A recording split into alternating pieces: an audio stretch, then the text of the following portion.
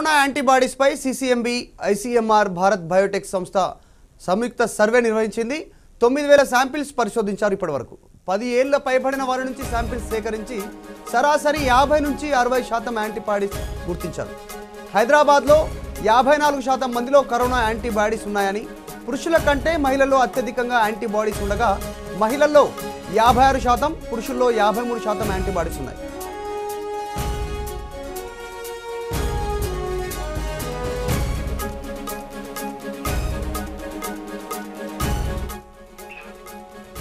దీనిపై మరింత సమాచారం మా ప్రతినిధి రమేష్ అందిస్తారు. రమేష్ చెప్పండి యాంటీ బ్యాడీస్ అంటే తెలంగాణ ముఖ్యంగా హైదరాబాద్లో చేసినటువంటి సర్వేలో మహిళలకు యాభై ఆరు శాతం పురుషులకు యాభై మూడు శాతం యాంటీబాడీస్ పెరిగినట్టుగా చెప్తున్నటువంటి నేపథ్యంపైన ఏం పూర్తి సమాచారం?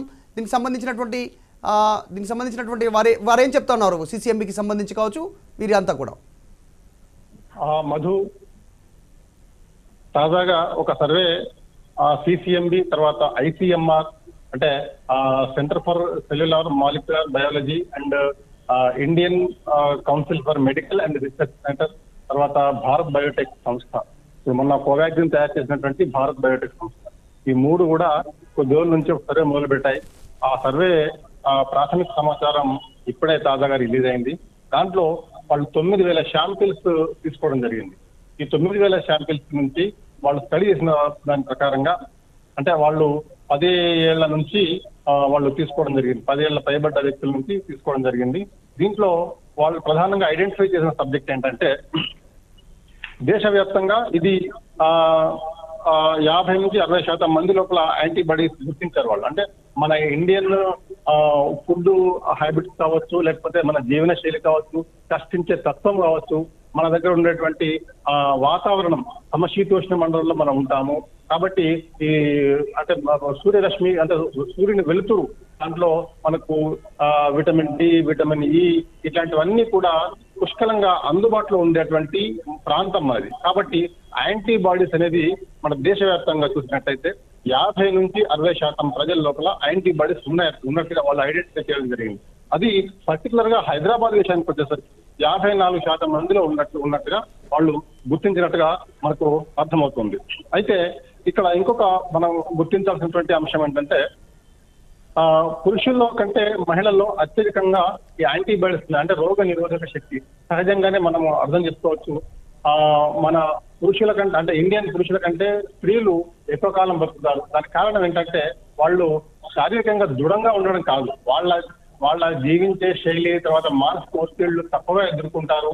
ఆ ఇట్లా తర్వాత ఆ వాళ్ళకు ఉండేటువంటి బయాలజికల్ ఎఫెక్ట్స్ కారణంగా వాళ్ళు తీసుకునే ఆహారాలు చిన్నప్పటి నుంచి కూడా వాళ్ళకి అందించినటువంటి ఆహారము తర్వాత సంప్రదాయబద్ధమైనటువంటి జీవన విధానం ఇట్లాంటివన్నీ కలుసుకుంటే కనుక అది ఇక్కడ ప్రూవ్ అవుతుంది. అది పురుషుల కంటే మహిళల్లో ఒక మూడు శాతం వాళ్ళు వాళ్ళు ఎక్కువగా యాంటీబాడీస్ ఉన్నట్టుగా మనకు ఐడెంటిఫై అవుతుంది. మొత్తానికి ఇక్కడ అర్థం చేసుకోవాల్సిన ఒక సబ్జెక్ట్ ఏంటంటే మరి ఇన్ ఇంతమంది అంటే సగం కంటే ఎక్కువ మందికి యాంటీబాడీస్ ఉన్నాయి ఇండియన్ ఇండియన్స్ లోపల.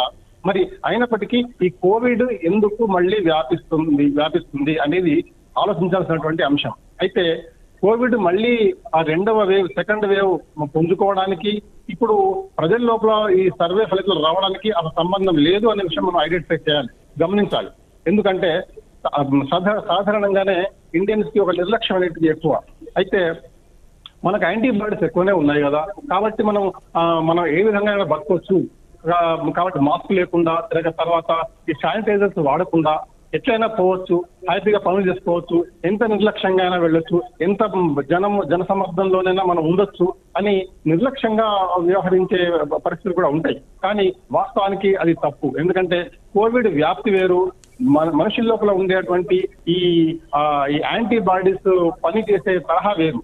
దానికి దీనికి సంబంధం లేదు ముడిపెట్టి చూడకూడదు. ఎందుకంటే ఇప్పుడు తాజాగా మనం కూడా చూస్తున్నాము వరంగల్ జిల్లా లోపల పిల్లలు స్కూల్స్ తెరిస్తే అక్కడ ఇవి మన ఆ, కేసులు బయటపడ్డాయి పాజిటివ్ కేసులు వచ్చినాయి. తర్వాత జగిత్యాల లోపల నిన్న బయటపడింది. తర్వాత ఈ మహారాష్ట్ర లోపల కూడా ఆ, మళ్ళీ ఆ, స్కూల్స్ను మూసేయడం జరుగుతుంది. ఆ గవర్నమెంట్ ఆ గవర్నమెంట్ కూడా ఆదేశించింది స్కూల్స్ మూసేయండి అని. ఇక్కడ తెలంగాణ లోపల కూడా స్కూల్స్ మీద మళ్ళీ నిర్ణయం మార్చుకుందామా లేదా అనేది ఆలోచన కూడా కొనసాగుతుంది. ఎందుకంటే వస్తున్నటువంటి రిపోర్ట్స్ బట్టి. కాబట్టి ఈ కోవిడ్ వ్యాప్తి అంటే ఇప్పుడు ఈ సర్వేను ఆధారం చేసుకుని కోవిడ్ వ్యాప్తిని నిర్లక్ష్యం చేయరాదు అనేది మనం అర్థం చేసుకోవాల్సినటువంటి అవసరం ఉంది మధు.